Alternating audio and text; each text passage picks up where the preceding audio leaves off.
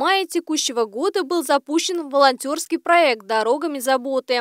Он был создан по инициативе общества с ограниченной ответственностью «Лесная здравница» при активном содействии Казанского федерального университета. Основная цель – организация культурной программы маломобильным людям и лицам с ограниченными возможностями здоровья посещать музейные комплексы Республики Татарстан. Для участников акции была организована благотворительная поездка по территории Казанского Кремля для знакомства с историческими и архитектурными памятниками комплекса.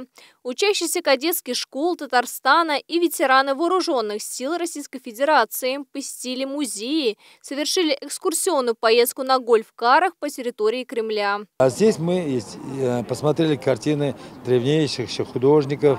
Это интересно, это же культура, мы должны развиваться вот, э, и культурно тоже.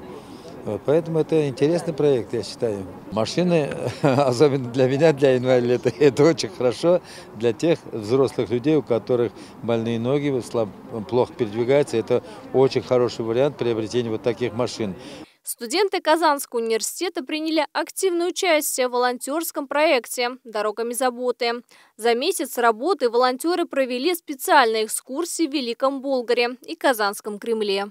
Участие в данной акции позволяет э, в, какой-то, в каком-то смысле реализовать собственные общественные, э, так сказать, обязанности. Мы должны в какой-то степени заботиться о э, окружающих, окружающем нас сообществе и, следовательно, отвечать на запросы, которые от него поступают. С другой стороны, это хорошая возможность уже в достаточно юном возрасте иметь хороший заработок, эм, работая по специальности. Отметим, что со времени своего старта проект уже получил развитие, открыв также дополнительное направление, посвященное историческому развитию, знакомству с культурным наследием Республики Татарстан и патриотическому воспитанию молодого поколения.